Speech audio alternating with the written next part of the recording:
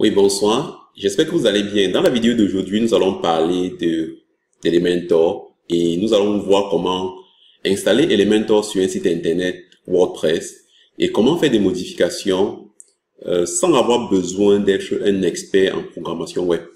Donc, nous allons éventuellement commencer par les étapes d'installation de WordPress et ensuite nous allons continuer par l'installation d'Elementor et par la suite, nous allons finir par comment vous pouvez tout simplement faire des modifications directement à partir de votre écran WordPress. Donc, avant de commencer, euh, je vais vous expliquer pourquoi il faudrait, pourquoi utiliser Elementor. Donc, Elementor, c'est tout simplement une extension WordPress qui est relativement populaire dans le monde du web. Donc, si vous voulez créer un site internet et que vous voulez euh, avoir un site internet professionnel, vous pouvez utiliser Elementor pour être en mesure de le faire facilement. Ça offre plusieurs avantages comme euh, l'intégration facile, les modifications directement à partir de son écran sans avoir besoin d'entrer dans les codes, euh, les codes de programmation. Et ça donne aussi la possibilité de pouvoir utiliser un ensemble de fonctionnalités de plusieurs développeurs à travers le monde entier, euh, tout en continuant à modifier ou à faire des ajustements si vous le souhaitez. Donc, on va commencer. La première chose que je, je vais faire, c'est euh, aller sur la plateforme de WordPress et ensemble, nous allons télécharger euh, une copie de WordPress pour, pour être en mesure de l'installer. Donc là, je vais faire tous les manœuvres sur mon nom de domaine. Donc sur mon site web euh, leblog.org. Donc présentement, vous allez voir, vous voyez que c'est vide. Et on va suivre ensemble toutes les étapes nécessaires pour finaliser l'installation et la configuration de WordPress. Donc, lorsque vous arrivez sur le site internet wordpress.org, vous pouvez cliquer sur l'onglet Get WordPress et ensuite, vous allez pouvoir télécharger WordPress en cliquant, sur le bouton Download It. Donc, et là, bon, ça vous donne la, dernière version de WordPress. Vous cliquez sur, sur ce bouton et ça va télécharger euh, la version la plus récente sur votre ordinateur. Donc, une fois que vous avez complété avec, les, avec le téléchargement, il sera tout simplement question d'aller dans votre serveur. Bon, si par exemple vous utilisez les FTP, donc vous allez éventuellement avoir besoin de transférer. Donc là, présentement, moi, je suis dans, euh, dans, dans, dans le cPanel. Donc, je vais tout simplement créer, euh, cliquer ici sur File Manager. Je clique dans l'emplacement où je souhaiterais installer mon site internet. Et à partir d'ici, je vais cliquer sur Upload et je vais sélectionner euh, mon WordPress que j'ai téléchargé. Donc, je clique sélection là et j'importe. Donc, une fois que j'ai fini avec l'importation, je vais tout simplement faire l'extraction de, de mon fichier zip. Et je vais supprimer la copie, la, la copie, euh, la copie du zip. Donc, je vais transférer tous ces fichiers ci dans mon répertoire principal.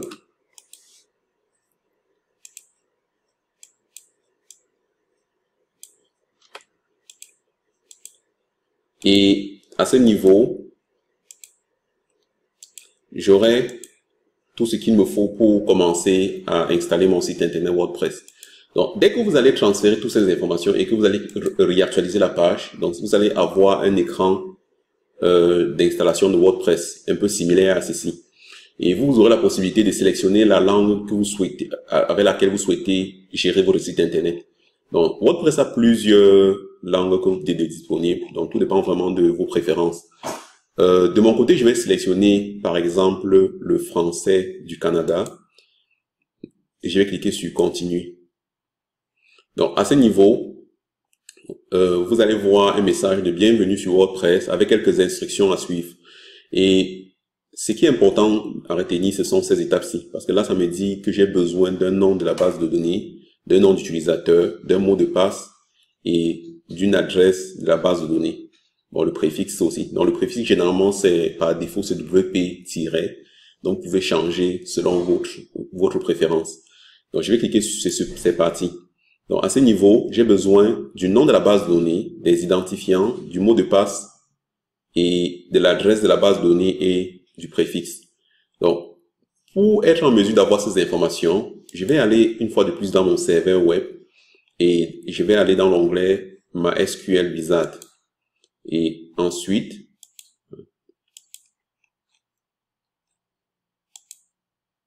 et ensuite, je vais créer une base de données. Je vais appeler ça bloc test.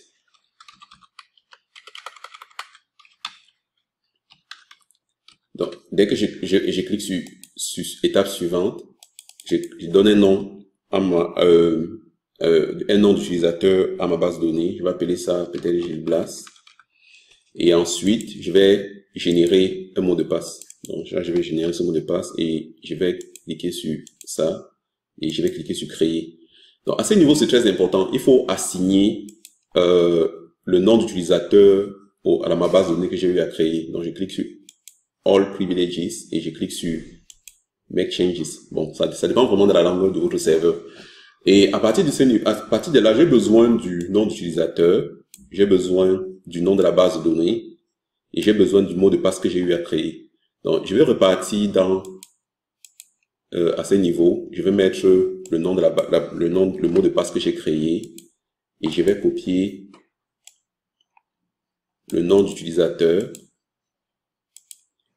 Le nom d'utilisateur, je mets à ce niveau et j'ai aussi besoin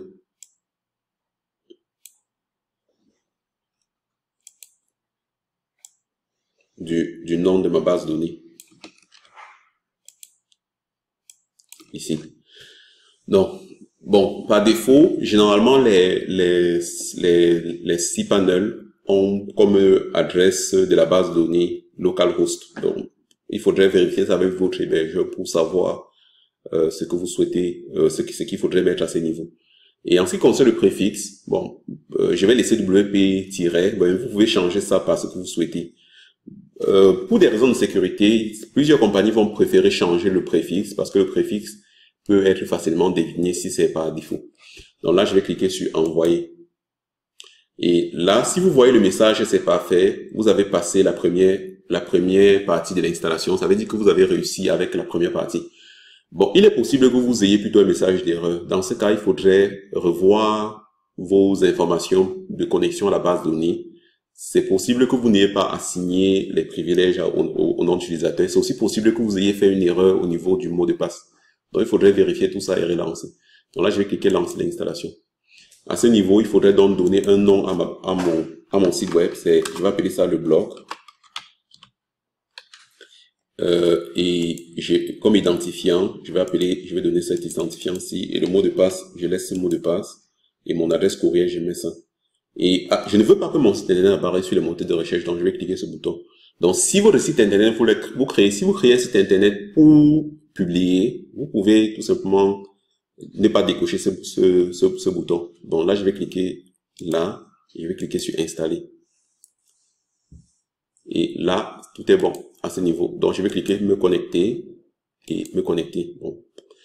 Donc, ce que vous voyez, ce qu'on peut voir ici, c'est que mon site web est déjà prêt. Mais pour le moment, le thème qui est installé, c'est le thème par défaut. Donc, il sera maintenant question de voir dans quelle mesure installer Elementor et ensuite faire la configuration. Donc, maintenant, les étapes pour installer Elementor sont la suivante. La première chose que vous allez faire, c'est aller dans l'onglet Extension, cliquer sur Ajouter, et ensuite vous allez rechercher Elementor. Et quand vous allez rechercher Elementor, vous allez euh, trouver sur, vous allez tomber sur plusieurs options de sélection. Elementor, c'est le premier qui se trouve ici. Donc ça, c'est Elementor Web Mulda. C'est proposé par Elementor.com. Donc là, vous allez cliquer sur Installer. Et une fois que vous allez faire l'installation, vous cliquez sur Activer. Donc, ce qui est vraiment très intéressant avec Elementor, c'est que lorsque vous faites l'installation pour la première fois, Elementor va vous proposer quelques étapes simples pour faire la configuration.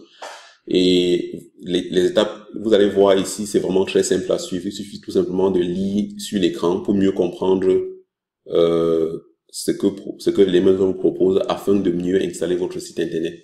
Et, là, il y a cinq étapes à suivre. Donc, dans la première étape, Elementor nous donne la possibilité de sélectionner, euh, de connecter notre site web avec avec avec notre compte. Ce n'est pas vraiment une obligation dans la mesure où euh, vous n'avez pas besoin d'avoir un compte sur Elementor pour créer un site web avec Elementor. Mais bon, dans mon cas par, exemple, si je veux, je peux connecter mon compte avec Elementor. Mais bon, pour le moment, moi, ce que je vais cliquer, je vais cliquer sur passer.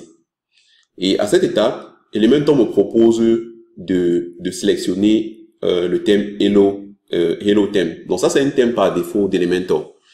Bon, l'avantage avec ce thème, c'est que ça a été testé et validé par Elementor et ça vous donne la possibilité euh, de facilement profiter des configurations euh, que Elementor vous propose. Mais c'est aussi possible de ne pas installer ce thème-ci et de continuer avec votre thème par défaut. Mais je vous conseillerais d'installer de, le thème par défaut et ensuite vous pouvez, euh, vous pouvez tout simplement désinstaller par la suite. Donc là, je vais cliquer sur Continue with Elementor Theme. Et ici, ça me donne, ça me demande de donner le nom de mon, de mon site web. Donc là, je vais cliquer ici, suivant. Et là, ça me demande de donner, euh, d'ajouter mon, mon, logo si, si j'en ai. Donc je vais cliquer à ce niveau et je vais sélectionner mon logo euh, dans mon ordinateur. Et ensuite, je vais cliquer sur sélectionner. Et ensuite, je vais cliquer sur suivant.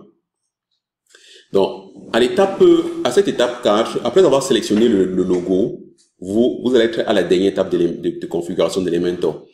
Et vous avez deux possibilités. Soit vous pouvez commencer avec euh, un site web complètement vide, ou vous pouvez sélectionner un thème parmi les options que Elementor vous propose. Et comme vous pouvez, comme on peut le lire ici, votre Elementor propose plus de 100 thèmes que vous pouvez importer gratuitement sur votre site internet. Et c'est vraiment avantageux pour ceux qui n'ont pas vraiment de thème Elementor.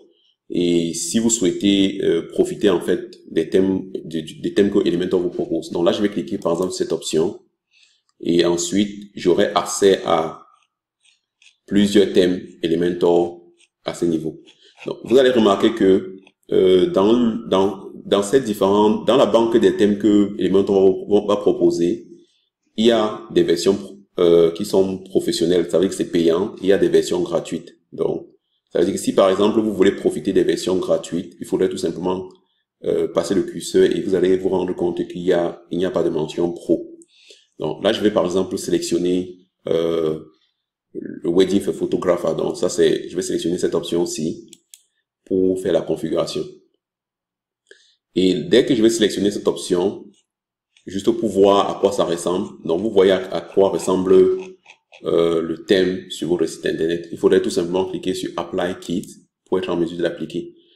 Et ensuite, euh, Elementor va vous, demander de, de vous connecter à la librairie pour pouvoir continuer. Je vais cliquer sur Get Started. Et là, je veux connecter mon compte. Donc, je, connecte mon compte. Donc, dans tous les cas, c'est vraiment gratuit d'utiliser, euh, d'avoir un compte avec Elementor, dans la mesure où vous allez profiter des fonctionnalités que ça vous propose. Et là, ça me demande si je veux appliquer toutes les fonctionnalités nécessaires pour ce thème. Donc là, je vais cliquer sur Apply All. Et ensuite, ça me dit First Enable the filter. Je clique Activer. Donc ça va prendre quelques minutes ou quelques secondes pour faire la configuration.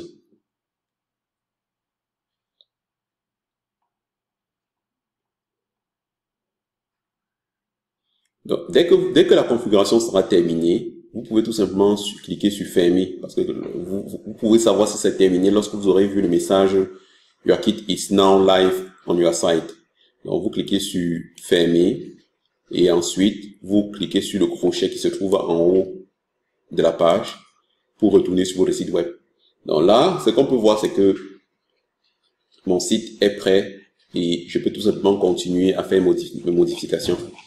Donc, euh, une fois que une fois que vous avez finalisé avec les, avec les avec l'installation et la configuration d'Elementor, tout ce qui va vous rester à faire, c'est de préparer votre contenu et ensuite de modifier vos textes et votre site web sera prêt à être publié en ligne. Euh, donc, ce que vous pouvez faire Là, maintenant, on va voir comment modifier euh, le contenu sur un site web Elementor. Donc, pour modifier les contenus sur un site web Elementor, c'est vraiment très simple. Il suffit tout simplement de cliquer, de cliquer sur la page où vous souhaitez me modifier. Par exemple, si je veux modifier les informations sur la page d'accueil, et ensuite, vous allez voir un onglet appelé Modifier avec Elementor, que vous pouvez cliquer dessus, et vous, euh, Elementor va vous ramener vers un écran de modification.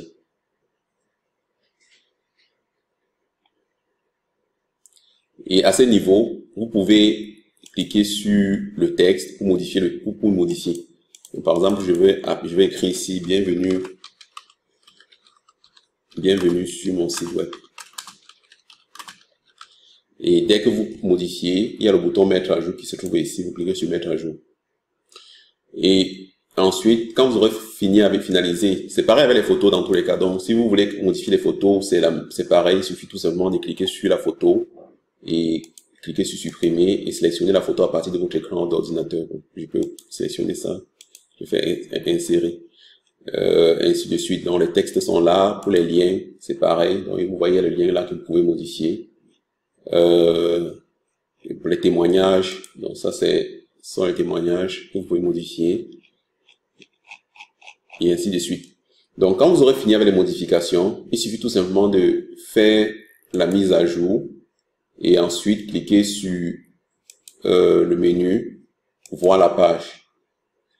Donc là vous voyez à quoi ça ressemble votre site internet. Donc, c'est sûr que avec euh, ces fonctionnalités de base, vous pouvez créer un site internet Elementor le plus facilement possible. Mais c'est aussi possible pour vous de souscrire à l'option Pro d'Elementor qui vous donne la possibilité d'avoir accès à plusieurs autres fonctionnalités comme le formulaire de contact, euh, certains, euh, certaines informations dynamiques et ainsi de suite. Et donc ça c'est un peu en gros comment vous pouvez utiliser Elementor pour faire la création d'un site internet WordPress? Donc, j'espère que cette vidéo va vous aider. Si vous avez des questions, n'hésitez pas surtout à les poser en commentaire. Ce sera un plaisir de vous répondre. Je vous souhaite de passer une bonne fin de journée et surtout portez-vous bien. Bye.